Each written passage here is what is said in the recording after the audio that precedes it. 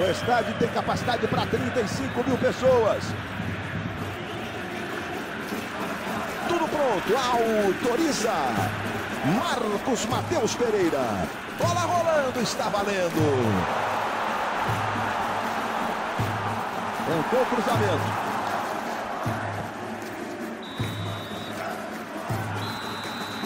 Está em...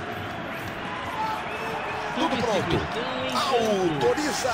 Começa o segundo tempo. Na tela da Globo, a partir de agora para você. Vai ser substituído pelo jogador.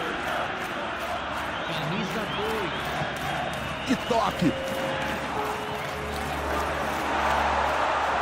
Substituição em andamento. Tentou o passe, a ideia é boa. A execução foi um pouco forte demais. Público presente na partida de hoje. Santos vem